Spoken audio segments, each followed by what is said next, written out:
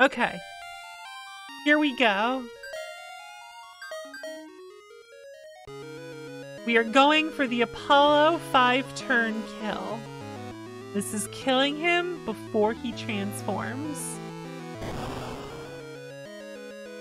To do this, we're going to use the weapons that go through his Aegis defense, like Excalibur, Gungnir, Gungnir, Flare, and Flare.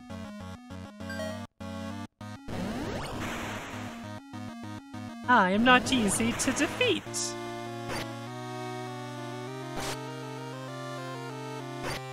We have to do 25,000 damage.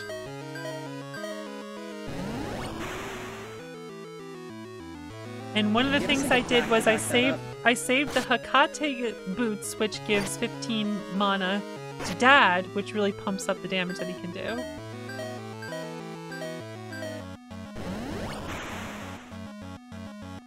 Now I have the mighty power of magic. Uh, this is looking good? Damage rolls aren't as high as I would like, but Dad's rolls are very good so far. Feel how sharp this Masamune is!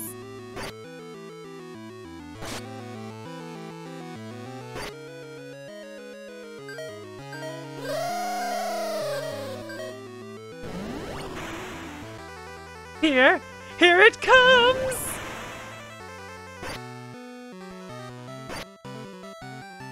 We got him!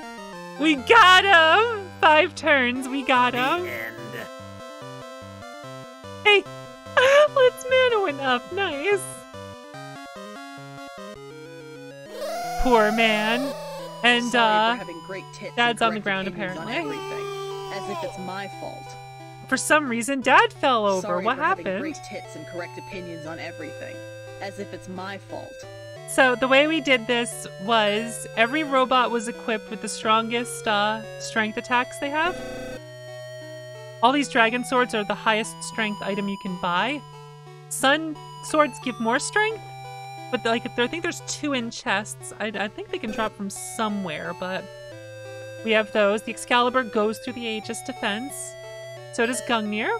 One from the nasty dungeon, one from getting the drop from Odin. Sun sword and dragon swords. Equipping the glass sword gives a ton of strength, because the strength goes beyond the 99 you see there for the robots. And then the dragon swords. We just got just enough mana with Lit so that Flare did enough damage, but if I farmed up the mana even higher, she would do even more, which would secure it a lot better. And then Dad, we had the Hakate boots, which it was a big deal to give it to him. Without those boots, he has like a damage variance between 500 and 800. But when we put the boots on, he did over 900 every single turn.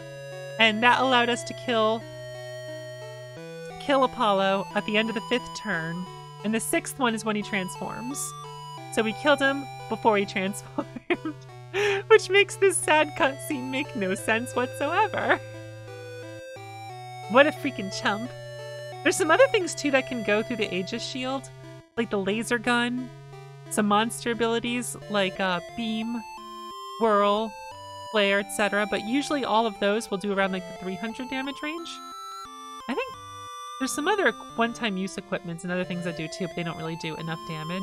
So that is how we did it.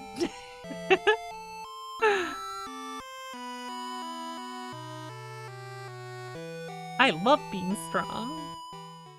This video was brought to you by the power and the support of the mighty executive gamers, who are known as Adam Admar, Greenlow, as well as the licensed gamers, who go by the names of Aaron Bunny, Lissa, Madam Thumbface. Let it also be known that these gamers, oh, they are certified gamers.